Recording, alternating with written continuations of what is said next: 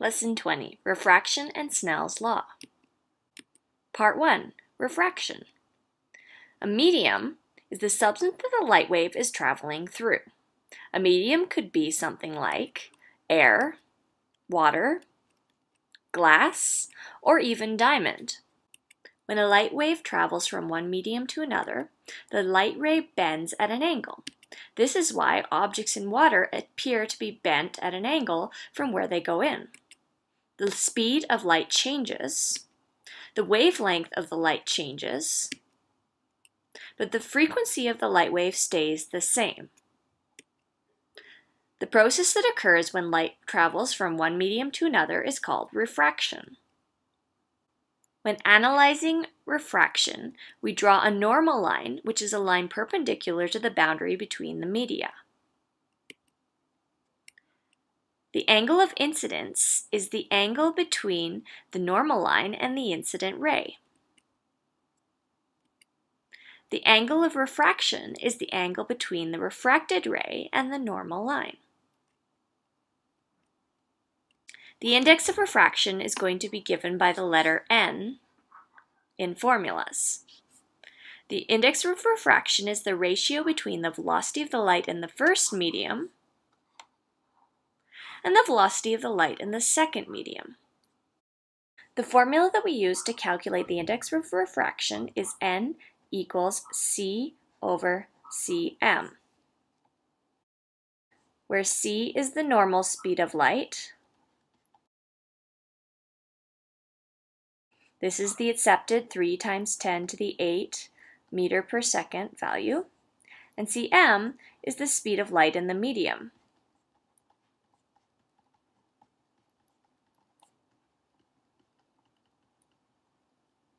For example, if we're looking for the index of refraction in water, we use n equals c over cm, where c is the regular speed of light, 3 times 10 to the 8, divided by the speed of light in the medium, which is water, 2.26 times 10 to the 8 meters per second. This gives an n value for water equal to 1.33. The bigger the index of refraction, the slower the medium. The index of refraction for air is 1. For water, it's 1.33. For glass, it's 1.52. And for diamond, it's 2.42. Faster mediums are ones that have index of refraction closer to 1. Slower mediums are the ones that have bigger indices of refraction. We can use our knowledge of whether a medium is a fast or slow medium to predict how light will bend as it refracts. We start with the acronym FST, which you can remember using freaky science teachers.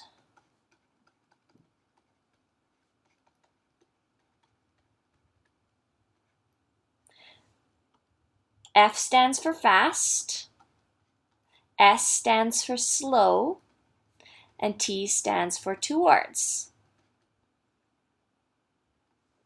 So if light comes from a fast medium going to a slow medium, it will bend towards the normal. FST. Here's an example. Going from water, which is a fast medium, to glass, which is a slow medium, we know that light will bend FST. So it's going to bend towards the normal line. We'll start by drawing in the normal line. When a light ray comes in towards the boundary between the two media, it will bend towards the normal line. So here is the original path, and we know that the light ray is going to bend in a direction towards the normal line. The next acronym to remember is SFA. We can remember this as Sue farts a lot. This stands for going from slow medium to fast medium. The light ray will bend away from the normal.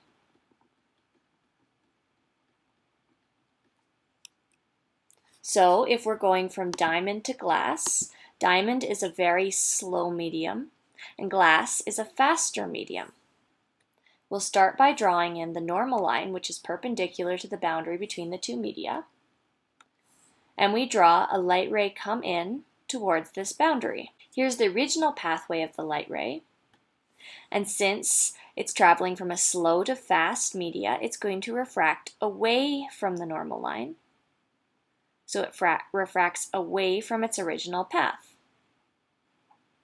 SFA. Different colors can have different indices of refraction in some materials.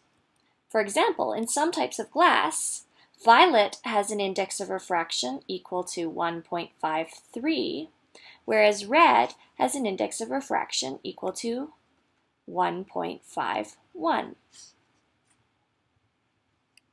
This is how a prism produces a rainbow. As white light hits the prism, each color refracts at a different angle.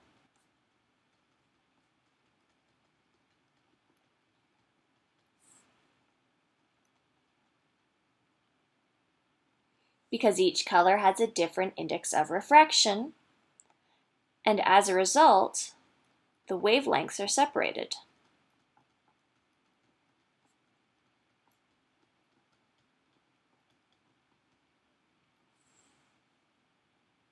This leads us to a very important rule that you have to memorize. Remember the following. For refraction, violet refracts the most. So if we have white light coming into a prism, when the rainbow exits the prism, red will refract at an angle, but at much less of an angle than the higher energy wavelengths, like blue and violet. For diffraction, red diffracts the most. So if we have a diffraction grating and white light travels in and hits the diffraction grating, we will see red light diffract at a much greater angle than the higher energy wavelengths, such as blue and violet. So for refraction, red will refract the least, and for diffraction, violet will diffract the least.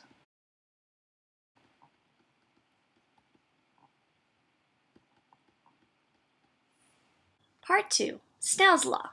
Snell's law allows us to calculate the change in angle, speed, and wavelength of light as it refracts when traveling from one medium to another. So if we have two different media, recall that the normal line is drawn perpendicular to the boundary between each medium. The incident ray is the ray that comes in to the boundary. This incident ray in medium 1 has a velocity and wavelength that are specific to that light frequency in medium 1. It comes at an angle we'll call theta 1. This is the angle between the normal line and the incident ray. As it crosses over the boundary, it will refract. The refracted ray has a different velocity, we'll call v2, and wavelength, which we'll call lambda 2, and it refracts at a different angle than it entered with. The formula for Snell's law uses these three quantities. Sine theta 1 over sine theta 2 equals n2 over n1 equals v1 over v2 equals lambda 1 over lambda 2. It's kind of like four formulas in one. When using Snell's law, remember that the angles are measured between the normal line and the ray. Example, what is the angle of refraction for the light ray traveling from water to glass shown below? Snell's law says that sine theta 1 over sine theta 2 equals n2 over n1 equals v1 over v2 equals lambda 1 over lambda 2. We only need to use the part of this formula that we're given in the question. We're given the indices of refraction, the n values, and we're given the original angle of the light before it's refracted. For this reason, we only need the section of the formula that includes the angles and the n values. So we use sine theta 1 over sine theta 2 equals n2 over n1. Theta 1 is given. This is the angle in the first region. This is 70 degrees. N2 is given. This is the index of refraction in the second region, which is 1.5. N1 is also given. It's 1.33 in the first region. And we're asked to find theta 2. We can rearrange this version of Snell's law for theta 2. Theta 2 equals sine inverse n1 sine theta 1 over n2.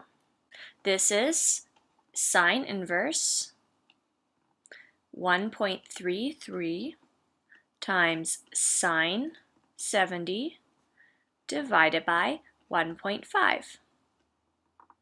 This gives us a theta 2 value equal to 56 degrees.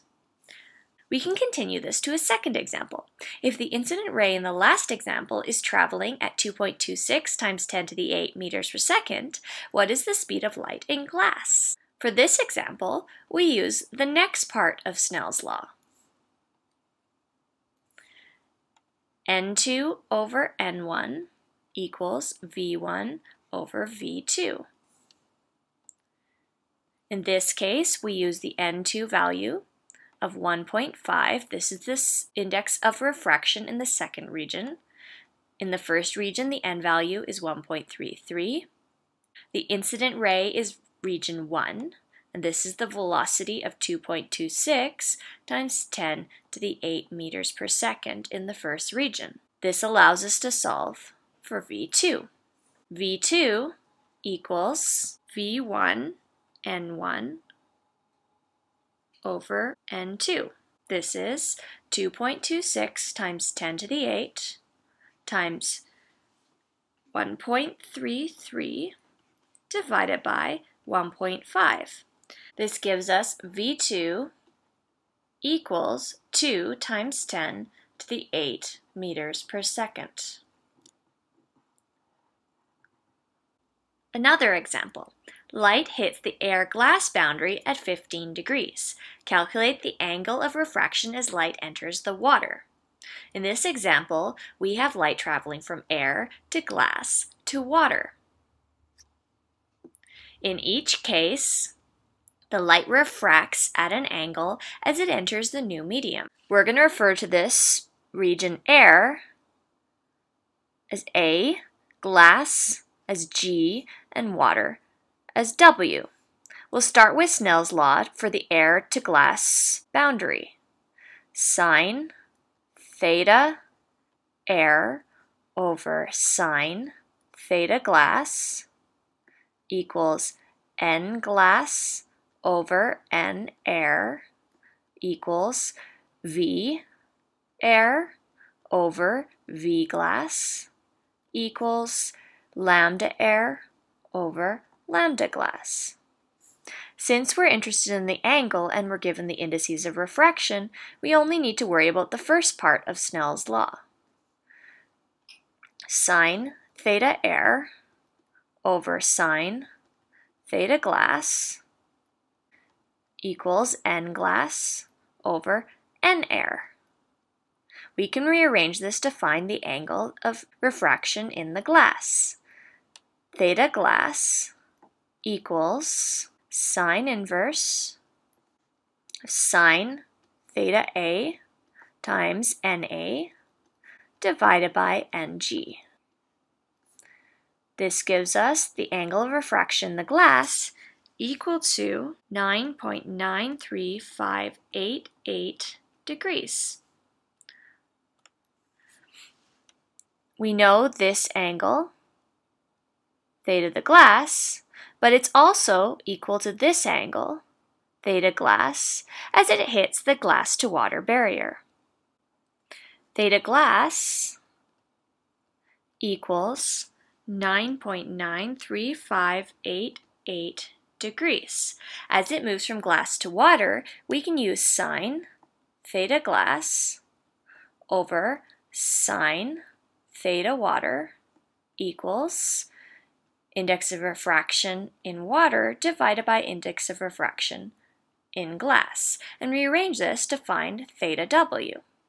Theta w equals sine inverse sine theta glass times n glass divided by n water. This gives us a theta in the water equal to 11.2 degrees. There is a faster method that could be used to calculate the angle when you've got three different interfaces. If we had just pretended the glass was not there at all, we could have just calculated air to water. Sine theta air over sine theta water equals n water over n air. If we arrange this for theta water, this is sine inverse sine theta air times n air divided by n water. This is sine negative 1 of sine 15 times the n for air, which is 1, divided by the n for water, which is 1.33. And if you do this, this also equals 11.2 degrees. So we, if we have three different media, we can just ignore the mi middle media if we want to find the final resulting angle of refraction. Part 3. Total internal reflection.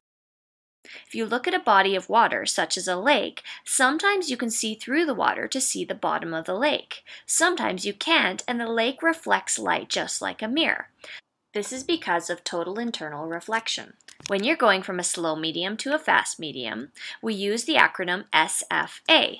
This means that you go from a slow medium to a fast medium, and light refracts away from the normal line. For example, when light enters the air from the water in a lake, we're going from a slow medium to a fast medium, so we know the light will refract away.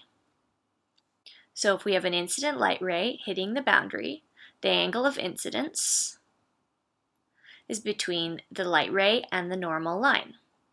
We can draw a dotted line showing the path that it would have taken if it hadn't been refracted. Since it's refracted, we know it's going to refract away from the normal line. So theta r is going to be larger than theta i.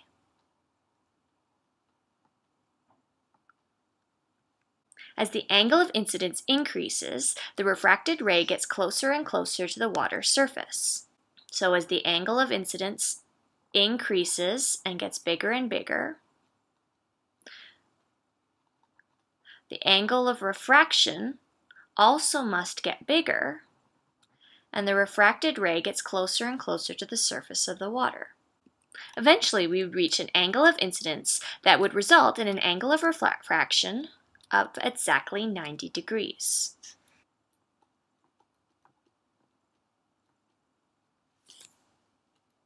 This angle of incidence that results in a 90 degree angle of refraction is called the critical angle. When this angle is reached, all angles of incidence greater than the critical angle will result in what's called total internal reflection. This picture of a lake is a great example of total internal reflection. For viewing angles less than the critical angle, we can see the bottom of the lake. This is because the light from the bottom of the lake is able to be refracted when you're viewing from that angle. But at the point of the critical angle, theta c, all angles for viewing the water beyond that result in total internal reflection. And as a result, the lake appears like a mirror and you can't see the bottom of the lake through the water. Total internal reflection happens for any angle of incidence greater than the critical angle. At this critical angle, theta c, the angle of refraction is equal to 90 degrees. As a result, a viewer in the second medium won't see anything from inside the incident medium.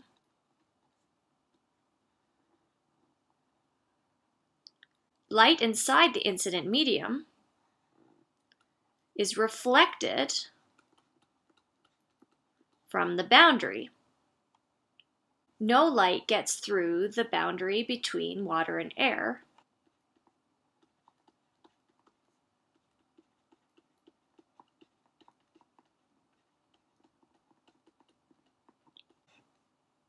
And as a result, instead, it is reflected inside the medium. This is why it's called total internal reflection.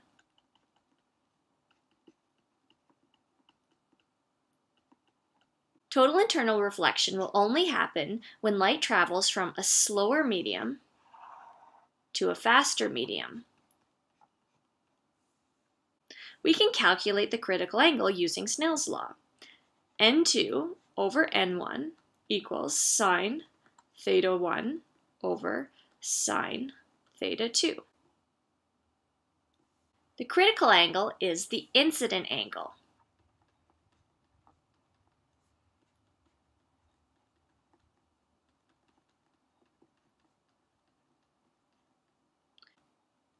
When the incident angle is greater or equal to the critical angle, it results in a refracted angle of 90 degrees.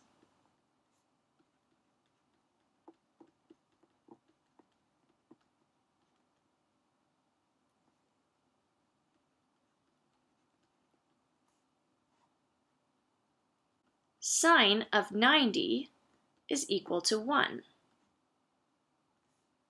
So, n2 over n1 equals sine of the critical angle divided by 1. This means theta c equals inverse sine n2 over n1. For example, when light travels from diamond, n equals 2.42, to air, where n is 1, what is the critical angle for diamond? We have n2 over n1 equals sine theta 1 over sine theta 2. So the second region is air. The first region is the diamond. We're looking at an angle of refraction of 90 degrees when we reach the critical angle.